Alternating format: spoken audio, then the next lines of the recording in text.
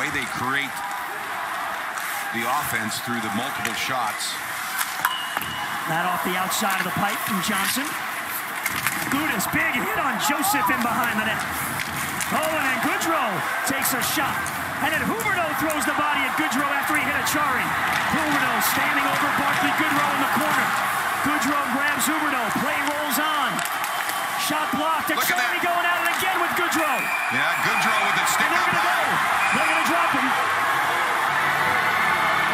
Acciari and Barclay Goodrow.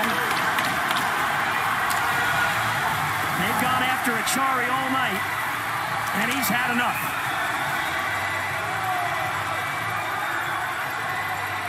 And the battle continues. Shannon Huberdeau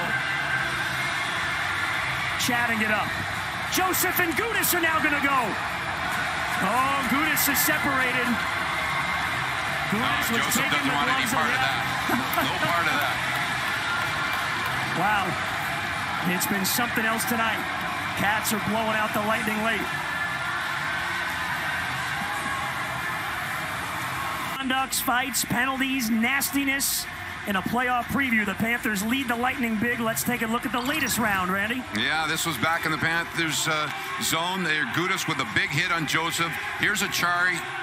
Goodrow rubs him out, and then Goodrow's up frustrated because Jonathan Huberdeau came in. Then Huberdeau, he kind of leaves the scene, and here comes Acciari trying to pick up his stick, and Goodrow goes back at him, and then the cross check, and then the fight. One